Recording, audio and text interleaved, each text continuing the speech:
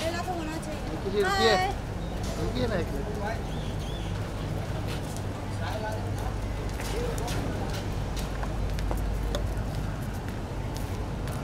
कैसे हो निक्की जी हाय कैसे हैं आप मैं ठीक हूँ आप कैसे हो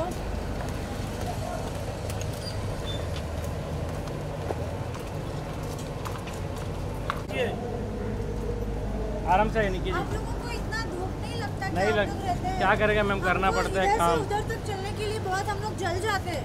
क्या आप करें? आप देखो अभी मैं ये सेम कपड़े पहने अभी वापस आऊँगी सेम पहनूँगी। नहीं, हम लोग चले जाएँगे। आज पूरा दिन सेम कपड़ों में। तो आप लोग इतना कष्ट क्यों कर रहे हो? आपके लिए। सेम दिखने वाली हूँ ना। आपके लिए। आम आदमी है ना हम लोग। बट नहीं बट मैं दिखने तो सेम ही वाली हूँ। तो आप लोग छाव में बैठी है।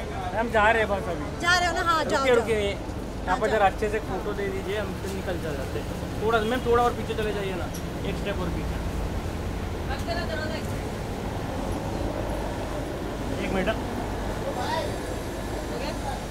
हाँ हो गया। थैंक यू बाय मैम मिलते हैं। फिर चलो।